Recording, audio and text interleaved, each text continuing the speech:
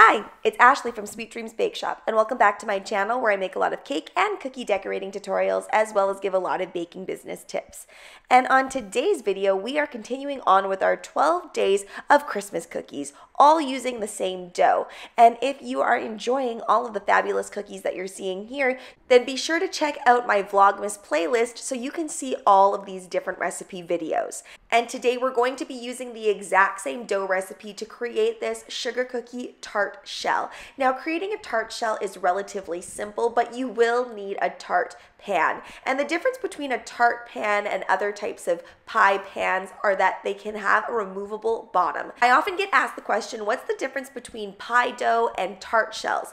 I find pie doughs are very flaky, very, very buttery, and there is a high content of butter in this as well. Obviously, we're using browned butter today, but it is a little bit drier and it comes out with a little bit more of a brittle texture. So rather than biting into a really flaky crust, what you're gonna get is you're going to get a nice shell that has a bit of a crumb to it more of a melt in your mouth type texture. Now, after you roll everything out, and be sure to really grease this tart pan, by the way, you're rolling everything out very thin, and then you're going to make sure you dock it as well so that no air bubbles form in there. While that's in the oven at 350 degrees Fahrenheit, I'm going to be making my ganache. I will note this recipe for the ganache down in the description box below. It's a very simple recipe. It literally is just heavy whipping cream and chocolate by the way, my tart shell spent about 14 minutes in the oven. I took it out and let it fully cool before removing from the pan. And then I'm placing my ganache in pretty much right after everything was melted and thoroughly mixed.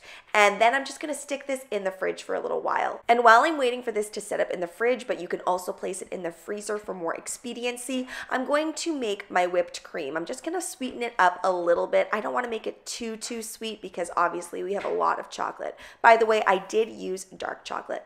Now it's time to decorate. Now I was being a little bit hasty with this, so I highly recommend that you let that chocolate set for a very long time to the point where if you put something on its surface, it's not going to grip onto this plastic, for example. But it will still work. It's just that you won't get as nice of a clean stencil. So I'm using glitter today, but you can honestly use anything like icing sugar would work really well on this. And this is a multi-stencil, which means that it actually has a few different parts to it. So it's all about aligning those parts. And I really love using both the silver and the blue glitter on this. It was really giving me frozen vibes. Now I decided to fill up this entire tart shell with chocolate ganache, but you could have a different filling underneath and then put the chocolate ganache on top and just use a little bit less. Totally up to you. I just really love a plain and simple tart that has the chocolate ganache with the whipped cream on top. And I'm just creating rosettes and I'm also creating some star tipping as well. And I'm using all of the same tip. It's the classic 1M tip. You can do a lot of different things with this. If you want to check out my on how I decorated all of these cupcakes with the 1M tip, then you can go ahead and click this video in the right hand corner. This dessert idea is perfect for when you have those last minute unexpected guests or if you want to make something in advance. And it's so, so simple, comes together so quickly, and you can stylize it however you would like. This would look beautiful with some candied or sugared cranberries on top.